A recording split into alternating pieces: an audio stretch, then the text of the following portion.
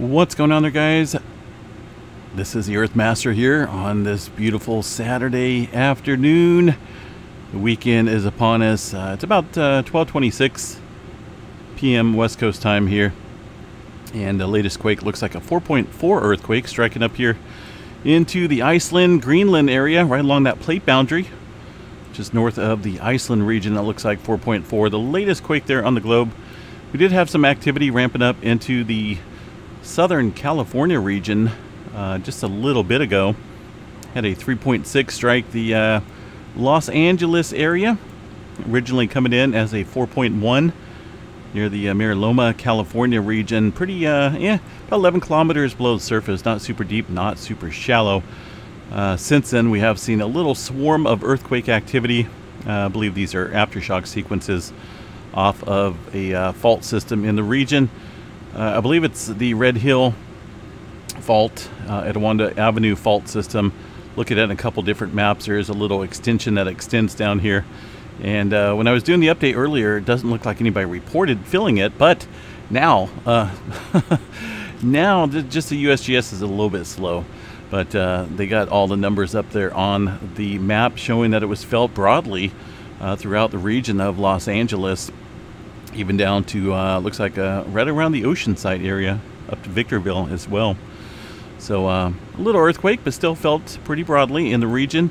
And this just kind of, you know, gives everyone a friendly reminder that uh, this is the earthquake uh, country down here, living around a major plate boundary.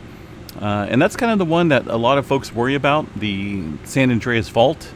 But there's also other fault systems that run through here into the highly populated regions uh, that could potentially do more damage to the Los Angeles area than, say, uh, an eight pointer down here on the southern end. No doubt it would be uh, quite the shaker, but uh, a lot of times uh, these little fault systems here uh, can produce some somewhat larger earthquakes as well. Not up to the eight range, but you know, you get into the six magnitude range right underneath Los Angeles here would definitely shake things up locally and uh, create quite the havoc. Uh, up north near the uh, Santa Clarita area, seen a 1.3 uh, within the last hour. Uh, that's just on the Pacific side of the plate boundary here, the red line indicating the San Andreas Fault. So things are uh, definitely ramping up a little bit here in Southern California. Um, we have seen a little activity into the Gulf of California as well, not showing up here on the USGS model, but it is on the EMSC. We'll check that out here in just a second. Also, we got Long Valley Supervolcano uh, starting to swarm once again here. Uh, that uh, looks like it's in the area that was swarming here about a month or so ago. Had a pretty good increase in um, earthquake activity. I'm going to go ahead and check out the Long Valley caldera first um, from the USGS um, agency here. And I believe it's right around this region right here for the seismograph station. Now, let me see if you guys can see this. Hopefully you can. Yep. Um, yep, earthquake activity definitely seems to be picking up a little bit overnight and this morning time frame. Notice the uh, the specks there, or the uh, spikes, not specks, but spikes here on the graph indicating that earthquake activity localized to the region and also to the seismograph station. Not looking as active as it was when we were in like full, full uh, blown swarm mode here uh, a month or so ago, but uh, could be getting into it again. Uh, these swarms do come and go. Right now, looks like the largest so far in this cluster of quakes appear to be a 2.0, 2.1 level. Um, and again, that's kind of just uh, within the caldera, Long Valley Supervolcano caldera, and still within that area that we've seen that uh, swarming take place a month or so ago. I don't believe it's been within a month. No, because most of the activity here was definitely uh, confined to this region. Looking at the last month, though, uh, over the last 30 days, definitely some activity around the area southward, and that's uh, pretty much normal uh, on any given month here for this area. Swarms do come and go. Uh, let's go ahead and check out real quick the uh, GPS systems here in the Long Valley Supervolcano area. Just want to see if we got any uh, noticeable increase in activity. We're going to go right around here for this uh, GPS measurement. And it looks as though these these little drop-offs that you see right here are uh, basically uh, instrument adjustments or antenna adjustment uh, or some type of reset on the data it, itself. Um, so you can't really go off what these uh, sudden drops would be. That'd be a huge amount of uh, uh, subsidence if we were to, to look at that. But looking at the chart here on the continual data, uh, looks like there's a gradual, gradual, slowly uplift in that region. Um, let's go back here and, and, double check a different GPS station uh, within this region. We can look at uh, maybe within here, 2022. Uh, Long Valley Supervolcano looks like, and I think we've cut, covered this before a couple times here in the past, uh, but definitely seen a pretty good increase, uptick in activity um, since about 2012. It looks like. Although this year it appears as though we're getting a little down dip here in the um, data coming in, but it seems to follow this little typical pattern of a little uplift, a little uh, deflation type event. Seems like every uh, every year or so. But uh, we'll keep an eye on it for now. Just a little bit of swarming going on. Uh, nothing within the last hour there at Long Valley, but we'll definitely keep an eye on it. One earthquake here off of the Calaveras fault zone. That's going to be this uh, Bay Area fault. That's another seismically hazard, uh, dangerous area. A lot of built-up stress and strain within this fault system. That and the Hayward fault. These two faults are I think uh, a little bit more watched right now, far as the potential for seeing a larger earthquake than, say, the San Andreas Fault here, which uh, struck back in 1906. So, uh, of course, strain has been building up here, but uh, I think there's a little bit more worry on these two separate fault systems uh, than the San Andreas Fault for this segment right now. Uh, Northern California, not a whole lot going on northward. I got some activity outside of the Mount Hood region. Uh, looks like a little bit of earthquake activity. So far, a 1.8 appears to be the largest earthquake here, just on the southern end of Mount Hood. And uh, we'll go ahead and cover that right now. Check out the seismograph station there of that volcano and uh, see what we got. It is listed up here on the map. I'm surprised the USGS and the uh, PNSN network is reporting it, but hey, good job, right? Uh, so we'll check out this seismograph station here uh, Timberline, Timberline, Oregon, see if this one's operational. Uh, sometimes these seismograph stations are showing all sorts of errors. And there's the earthquake activity. Uh, we can definitely see that uh, pretty distinctly here on the map. Some of these other readings don't look like uh, earthquakes, maybe right here, but uh, looks like they may have done some type of adjustment here uh, in amplification in order to see maybe possibly smaller quakes or deeper earthquakes. But uh, there's a couple of them there at the Mountain Hood area. Uh, let's check out the yesterday UTC time here and see what we got. Doesn't look like anything's found on that one. Uh, let's see here. We'll check out a different seismograph. Mount Hood Meadows. See what this one has listed up. And this one here is still kind of showing those quakes as well. Uh, and a little bit less clutter, less interference as far as whatever the other noise was. Uh, but the majority of the earthquake activity looks like it struck late last night uh, time frame. And a couple small microquakes in there. Nothing really over the last couple hours. But uh, yeah, that looks about right. Um, late afternoon, early evening time frame for these earthquakes.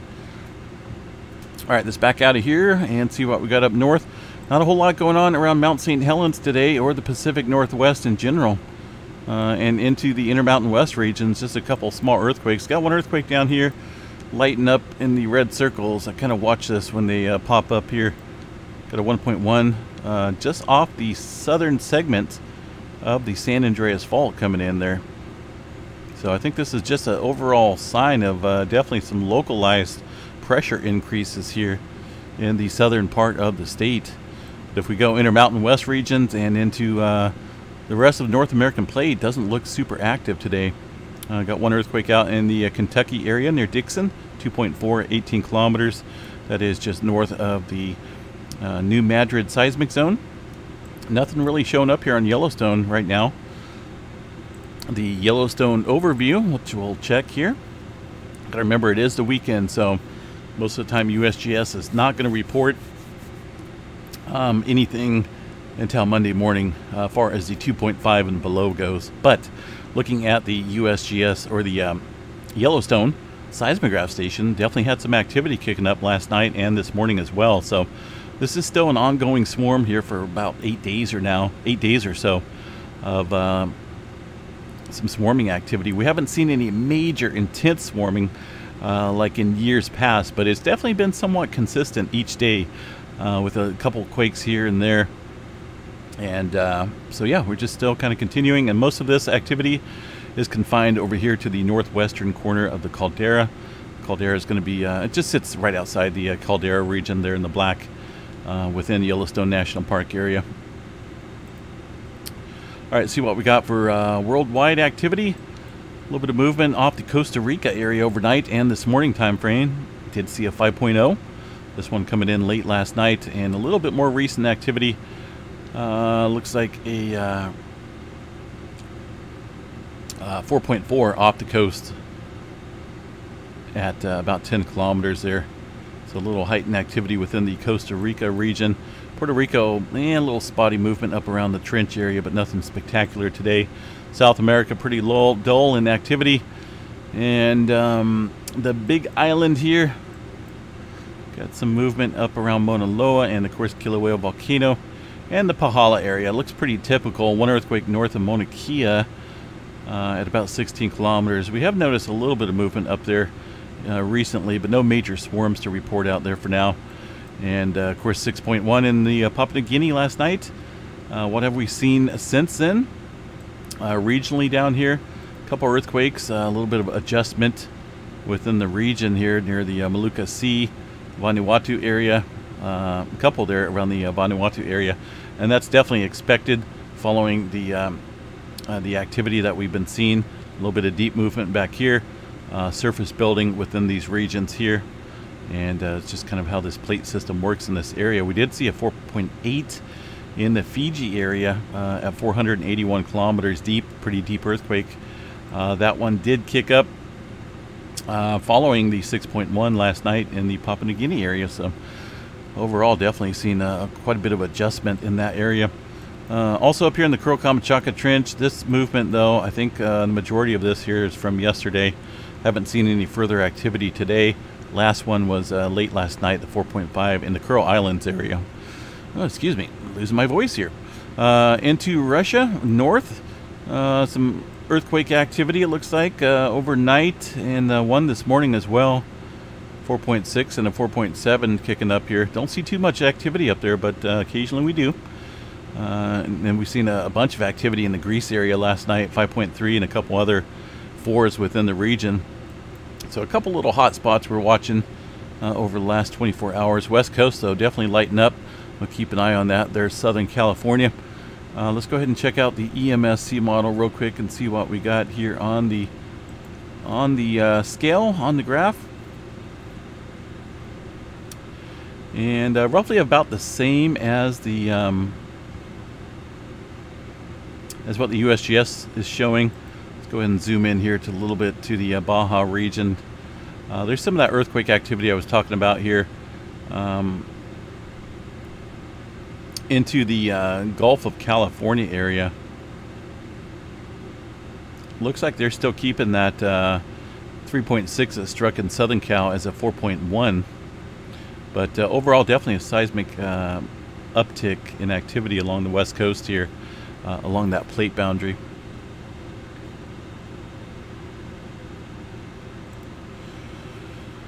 All right, let's see what we got here for solar weather activity. I'm um, going to be working on a lot of homework uh, today. Uh, got a lot of it due tomorrow as far as uh, uh, my universe studies, mastering the universe, and also uh, got quite a bit due this week. That's one thing can't be doing is putting stuff behind when it comes to lectures and and um, schooling. Got to make sure you keep up on the schedule which I try to do, but still gotta gotta get away from the computer once in a while, right? Okay, so G1 storm looks like uh, we did reach a threshold last night. G2 is possible um, on the 4th. UTC time of looks like 18 to 24, uh, 18 to 24 and that's going to put that uh, right around the um, tomorrow afternoon time frame, early evening. So we'll see if that uh, amplifies or not, or see if it arrives maybe a little bit later. That way, uh, the folks there at the higher latitudes and mid latitudes could see something when it's darker. Don't want to have this coming in in the afternoon time frame. And uh, all this activity is from a uh, coronal hole, which is uh, still kind of currently facing us, number 20. Um, it is a pretty large coronal hole. This is the latest updated imagery here. Notice that we're starting to go off, just off to the uh, western side, western limb of the sun a little bit. But still, the effects from that coronal hole, which was uh, facing us here over the last couple days, uh, that high-speed solar wind stream is going to be flowing right at us and sparking up auroras. Again, this was pretty well Earth-directed right in the center disk here of the sun. One big one up at the top. Uh, that's not going to uh, play a part in anything though. And as uh, far as sunspot activity goes, uh, got 3089 down here on the southwestern portion of the sun, which is going to be, uh, well, going to be saying goodbye. But this one here is a lot more, uh, a lot more stable in terms of lack of flares compared to 3088. Remember 3088, the one that was producing tons of M flares? Uh, that's since long gone, probably on the opposite side of the sun. We'll see if it returns. But uh, as far as solar flare threat goes right now, this one may produce uh, a departing uh, low-grade M flare, uh, but I, I, don't think so. Uh, there's a couple different sunspots here on the eastern limb that we're watching, and they're kind of growing a little bit. The newest named one is 3094. we'll keep an eye on that one as they rotate into view here of the Earth. And um, but for now, we'll, we'll watch the uh, potential G2 storm as it comes in tomorrow afternoon, early evening time frame. Uh, we are noticing a little bit of uptick here on the uh, towards the um, other side of the world here. Notice the uh, aurora is kicking up there at the higher latitudes. Looks like uh, something coming in. Let's see what we got for solar wind stream. There's that BZ component tilting south, allowing some of this uh, speed uh, to flow right in. Let's see, I think I... Uh, solar wind enhancements, including periods of south-pointing BZ, is stirring up geomagnetic activity at higher latitudes. Uh, a period of minor G1 storming was observed. That was late last night. A reminder that a coronal hole stream is predicted to reach Earth sometime this weekend and could trigger moderate G2 storming conditions. Aurora Skywatchers, you lucky guys uh, and girls, should be alert during the next 48 hours. So, alrighty, well, we'll keep an eye on it. Of course, if anything changes, we will uh, be back here on the live stream to report on it. But for now, uh, again, I think we need to watch Southern California with this thing ramping up. Uh, I do have a seismograph station down there uh, monitoring the data, and uh, that station is called Barrett. Now, that is going to be underneath the American Samoa seismograph station. Um, this is Canyon Yellowstone National Park. Uh, the American Samoa station down here on the bottom left side of the screen uh, is right here. American Samoa around the Taal volcano. And the Barrett station in Southern California is this one right here. That four pointer, that 4.1 or 3.6, however you want to uh, look at it, uh, definitely uh, produce a nice signature um, there in Southern California once when that earthquake hit. So that's the station to monitor for the Southern California region. Of course, we got the uh, Petrolia station here in Northern Cal, uh, just right around the yeah Petrolia area. So, all right, guys, have a good day. I'm gonna get busy and busy and busy on some homework right now, and we'll be off here on the side, come monitoring things. Have a good day. We'll chat you guys just a little bit later.